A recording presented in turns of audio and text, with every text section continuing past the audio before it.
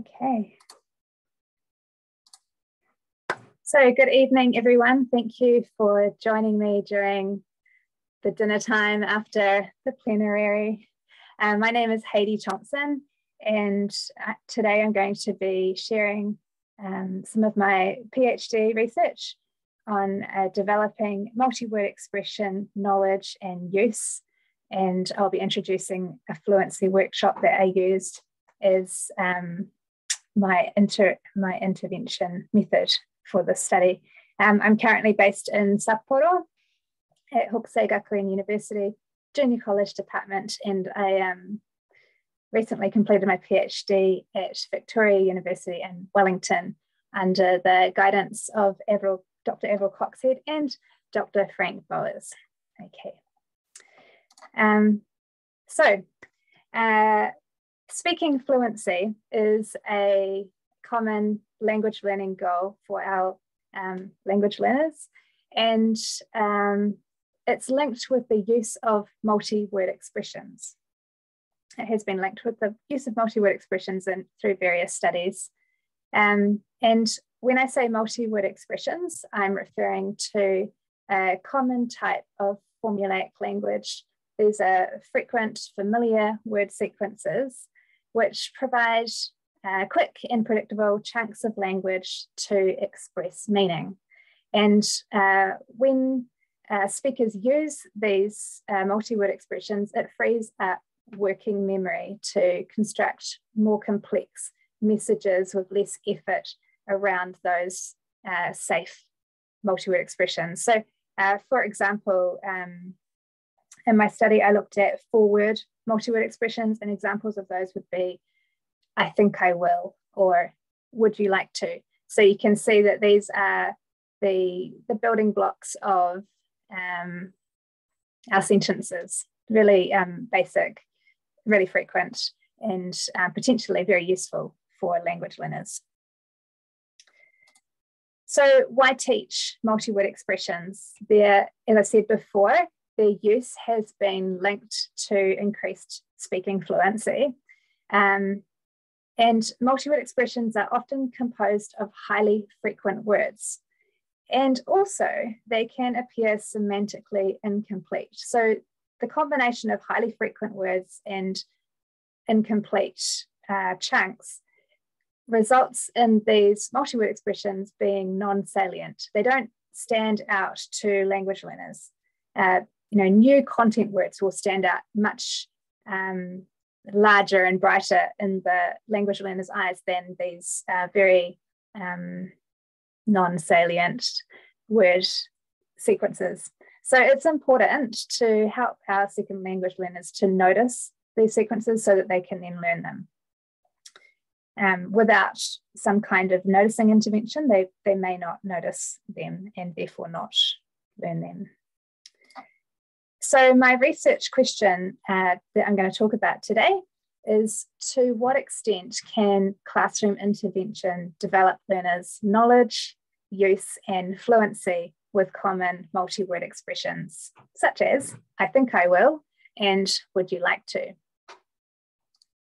So, um, my multi word expressions for this study were four word expressions, and I used four word forwards in order to keep the expressions comparable and reduce overlapping.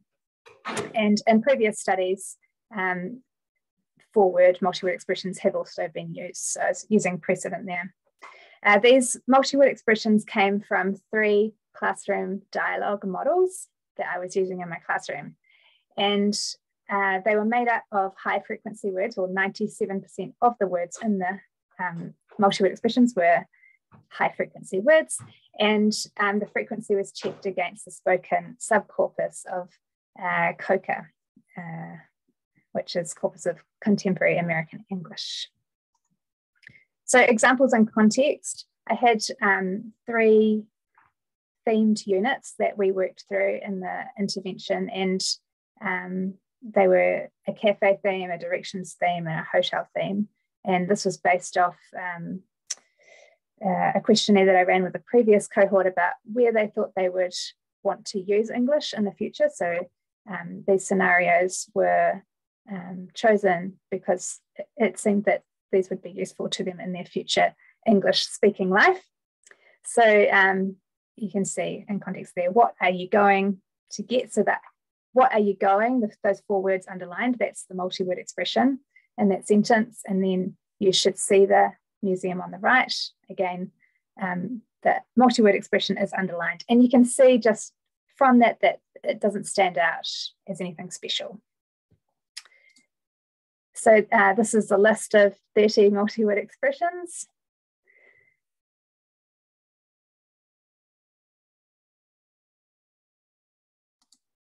And um, now I'm going to introduce what I did in my uh, experimental condition. So um, we had a fluency workshop and these fluency workshop activities were in order to notice and practice using multi-word expressions. And the activities that I'm going to introduce now um, were based off a study that Wood uh, reported in 2009 with just one learner. Um, and then I used that model uh, to, that model was a monologue model and I wanted to look at dialogue. So um, I adjusted those activities and um, used these 10 activities in this um, study. And these were based off a previous study that I reported in 2018. So I'm going to run through these now, each activity, because I think um, as teachers, this might be useful information for us and what can we use in our classroom. So um, the first activity is listening to a model dialogue and then answering just questions. So we'd have a, a model dialogue that looks a bit like this and um, the students would listen to it and then answer just questions such as what are the people talking about and what are they looking at. And I do that in partners, so that ask each other those questions. And then um, the second activity is multi-word expression instruction. So um, we would, um, I would give the students a transcript of the model dialogue and then ask them to go through and underline the multi-word expressions as I introduced them and take notes of their meaning. So I would give them, because all of the students in my class were uh, speakers of Japanese, I would give them that Japanese translation and then also some kind of meta information about the, the multi-word expression. For example, in what situation would you use this? Um, so we've got here the top one, what would you like? So we've got the translation and then saying that's a question about choice. Okay, and then the Japanese translation of that as well. Okay, so that was the multi-word expression. They'd go through an instruction, they'd go through and highlight that in their text. And then um, we did, the third activity was shadowing. So um, the idea of this is that you, the students, we were all in a computer classroom, they all had their own um, computers and headsets so that they would put on their headset and listen to the audio on their own headset um, and try to say the words just after the speaker, almost at the same time, um, in a shadowing exercise and do that four times uh, in the classroom. And the um, kind of motivation of that is to improve the pronunciation and rhythm. Not so focused on meaning, more focused on the procedural knowledge of actually using using it. Um, and then the fourth activity was Dictogloss.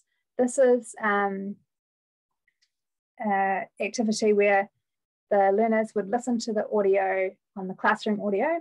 And the first time they would just listen, and then they'd listen a second time and take notes of the words that they could hear. And then a third time and take notes, a fourth time and take notes. And then after that fourth time, they would get together in a small group and share their notes and try to reconstruct the text together. The fifth exercise was mingle jigsaw. So um, I would give each learner a um, multi-word expression printed on a small piece of paper, hand them out, and they were instructed to write them the write down the phrase on a piece of paper that they had, and then return. I would get the pieces of paper back to me, they were instructed to memorize their phrase and then stand up and walk around the room and uh, share their phrase with different people, like exchange verbally their phrases. So when they exchange, they'd remember their partner's phrase and then go back to their desk and write that down. And the idea was that um, they'd hold that phrase in their memory for a very short amount of time to, before they wrote it down on their desk. The sixth uh, activity was role play train, so just a basic role play. Uh, they were allowed to use their transcript to um, do the role play, but encouraged to look up from the transcript and make eye contact with their partner. So on the class screens, I would show something that looks a bit like this, some instructions about the role play, and um, also the multi-word expressions that I would quite like them to use in their role play. And they would do this uh, with different partners. So we'd start off uh, all lined up, parallel, and they'd do the role play with one partner, and then the lines would move in opposite directions so they get a new partner for the next time. And then again, they'd do it three times in one role, and then we'd switch the roles and they'd do it again with um, three other people. We'd then go to a decreasing time role play, and in this uh, activity, they were not supposed to use notes, so we put the notes away, and um, they had a time limit starting with 1.4 minutes, and they'd do that role play. These um, expressions would be shown on the screen, so even though they don't have notes, they can still refer to the expressions, really encouraging them to use them. And then again, they'd change partners and do it for uh, lesser time, and then change partners again and do it for eventually one minute. And then we'd switch roles and do it all over again. So um, in total, they're doing it six, well, three times in each role. And then after we've done those role plays, we'd do a recording of the role play. So they'd sit down again at their desk and um, with their partner, they would record a role play on Moodle using Audacity. And um, they'd introduce themselves at the start of the role play and do the role play, change roles, do it again, and then um, they'd export that file, save it, and upload it to Moodle. This activity was technically challenging for several and quite time consuming. Uh, then the uh, number nine activity was to reflect on the recording. So I gave learners a, um, a print, a sheet, worksheet where they would uh, respond to these reflection questions. So they'd listen back to the recording on Moodle and then they'd rate themselves about their pausing behavior, their um, pronunciation, and um, whether they were speaking kind of word by word or more phrase by phrase, and then the things that they did well, the things that they thought they could improve on. And the final uh, activity in this fluency workshop activity set was to do a related situation free role play. So the idea is that they would talk about something that um, is a similar scenario. So the scenario introduced just now is a cafe. So um, a related situation would be perhaps um, going to a clothing store and deciding what you want to buy, or a convenience store and talking about what you want to buy with your friend and they were encouraged to use those multi-word expressions in that new conversation. And for this uh, related situation role play, they got one minute and one minute prior to doing the role play to kind of plan it out using uh, Japanese, using the L1 with their partner so that um, they had an idea of what they were doing when they started. The control condition, these um, students, uh, this group of students, they provide a baseline to compare the learning from their intervention and they didn't have any deliberate exposure to the multi-word expressions that were being explicitly taught in the experimental group.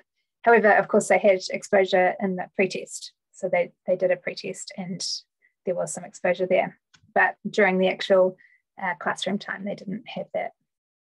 Now, the control condition followed a linked skills um, syllabus, and they were doing engineering things. My students were all engineering majors. So in this class, we had activities such as speed reading and um, then listening and filling in missing words, uh, reading an email, writing an email, then describing uh, design from an email to a partner. So um, they were all linked. And the idea with linked skills is that you use the similar vocabulary throughout different skills of reading, writing, speaking, and listening, and it builds up a certain amount of fluency through those that rep repetition.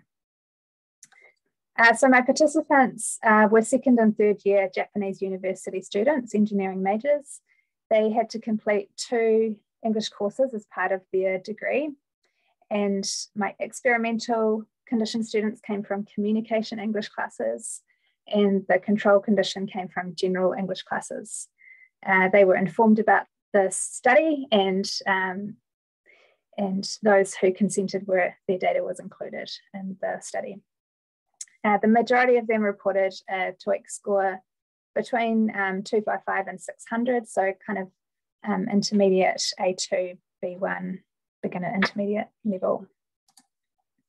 Um, so the method, I wanted to measure the uptake of 30 multi-word expressions before and after the six-week intervention. So um, I had three uh, tests that I'm going to report on today. First was um, their knowledge of multi-word expressions, which was tested through a cued recall test. The second was their ability to use multi-word expressions, which was uh, measured through a dialogue task. And that same di dialogue task was used to measure their overall fluency. And this was done before and after the intervention to look at the changes that may have happened over those six weeks. So for productive knowledge, uh, the cued recall test pre and post, um, it was done on Moodle and you can see here an example of what it would have looked like on the screen. So they had each word uh, gapped with the first initial words given and then a Japanese translation to guide their answering. So they'd fill in those missing words. They are 30 questions and they had 10 minutes to complete it. Um, and you'll see here on the left, the um, experimental condition uh, learners were on the left. So um, they had a gain from the pre-test to the post-test of um, eight, just over eight words and by eight expressions and no, yes, eight expressions. And from the control group, they had a, a gain of just over two expressions. And that difference between the gain scores for the experimental and control groups was significant with a large effect.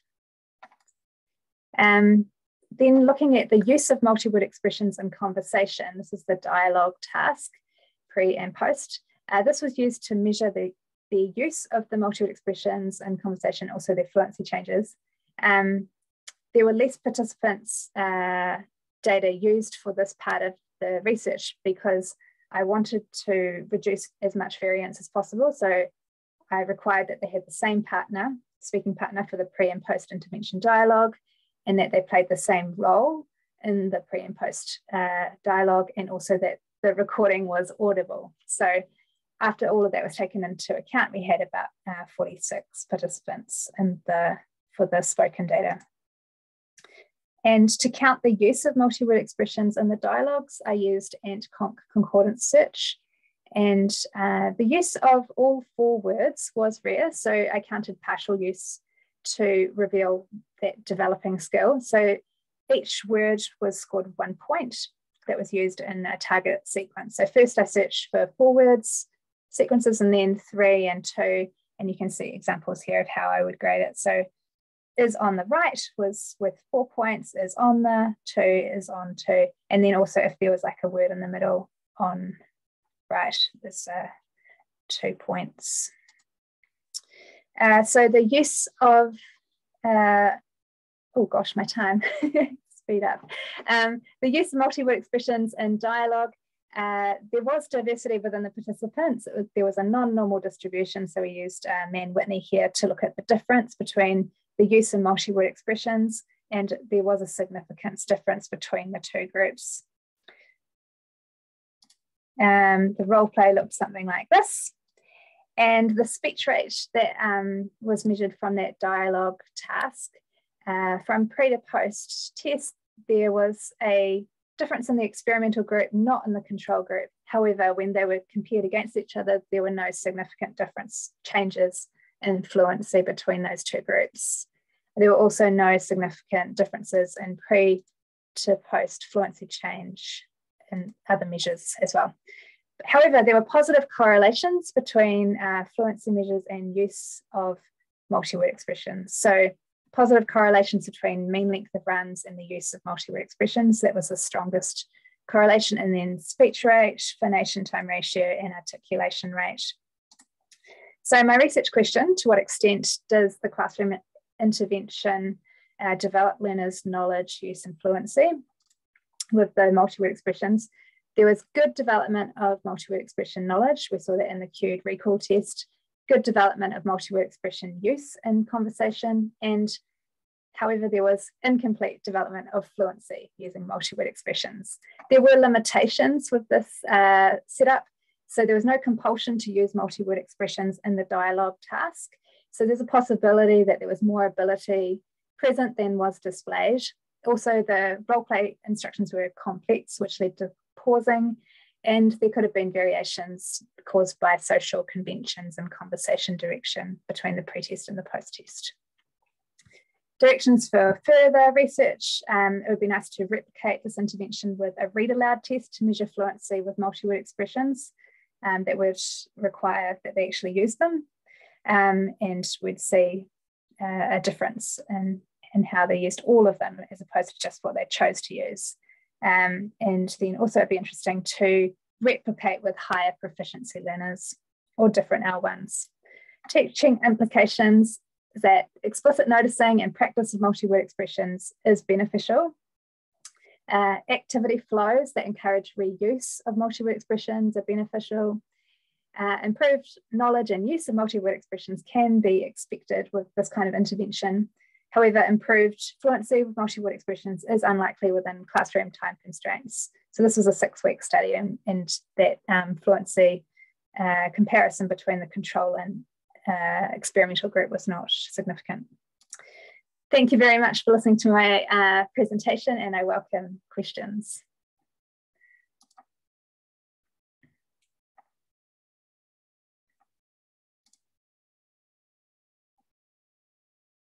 Are there any questions?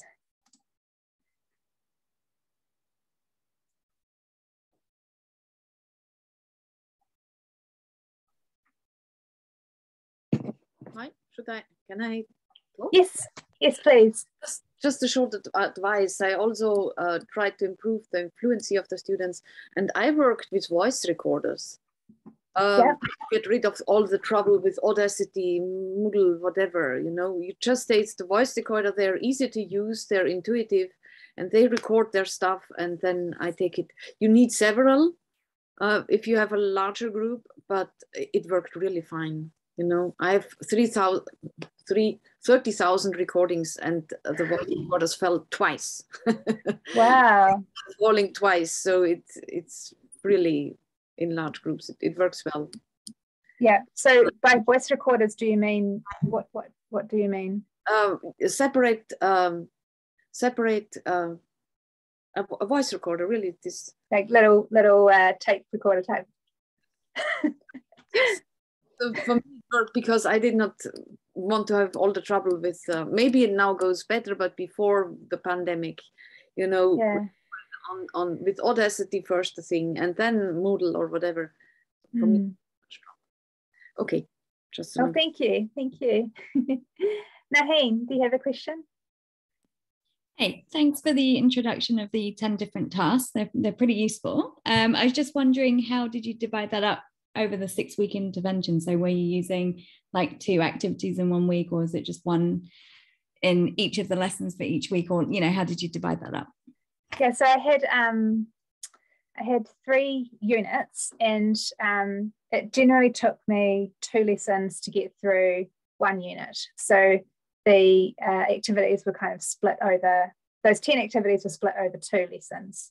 So you had like two 100 minute lessons, and then kind of fit that into the unit. Is that right? Yeah, 90. Yeah, two two 90 minute unit, uh, two 90 minute lessons and Sorry, I can get through one unit.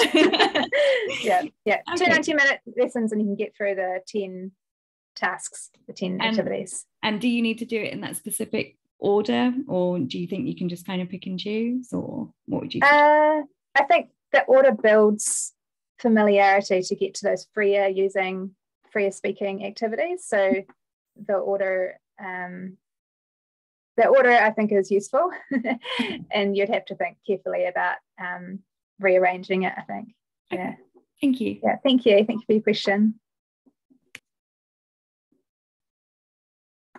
Any other questions?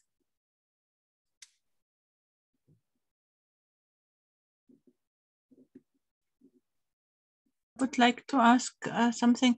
You said you uh, you put it down to four word uh, multi-word expressions, but in one case, like you have very often, like the two is like mandatory, so it will be a five word expression in, in really. Um, I don't remember. It's um, something with a two. What would you like to get, or I don't know. Ah, yes. yes. Yeah. So it's it's in yeah did you just you, you just cut it down to have it like four words and but in in actual it could be like five or even six or i don't know yeah so for the um for the teaching of the expressions mm. they were in those four word mm. um mm. sequences but of course they were taught in context of the sentences that they mm. appeared in so yeah like you say the um uh, I think it was in particular, what would you like to and uh, what would you like? They can, mm-hmm. yeah, yeah, they can overlap there. So, um, yeah, I, I, think that would be quite an interesting kind of post hoc thing to investigate. Like if, if that particular sequence is better, has a better uptake than the others, because it probably had a, a little bit more uh, students had more encounters with it because it appeared mm. twice, I guess, in the um, materials. But um, yeah, in terms of like counting for the analysis, um, if it was used, like when they spoke it, if they said, what would you like to, then that was just counted as one multi-word expression of five words. Mm-hmm. Yeah, so um, does that answer your question? Uh, yeah, I would like to ask more, but we don't have time, so it's okay. okay. Thank you. Okay, Maybe yeah. I'll, I'll, yeah. I'll, be in. I'll be in the breakout room, I guess. Yeah. we can talk about it more if you want to. Yeah. No, I cannot. I have the ABM after that. okay, all right, all right. So, Thank so, you very yeah, much. yeah, but maybe at another time or another conference we can talk. Yeah, thank you. Sure, very thank you. good. Very nice talk. Yeah. Thank you. Okay, thank you very much for your presentation, Dr. Haidee. And let's offer a round of applause for Dr. Haidee, who presented today. Thank you, everyone. Thank you for coming. Yeah, and you may continue the conversation in the continued presentation discussions room. I will send the link to everyone so that everyone can attend the discussion. Now I send the link and you can access the link and you can go to the room, which is room 17 to continue discussion. And please connect with our associate members who support this conference and the SIGs through both the conference site and Discord server. Again, thank you very much for your participation today. Thank you. Thank you.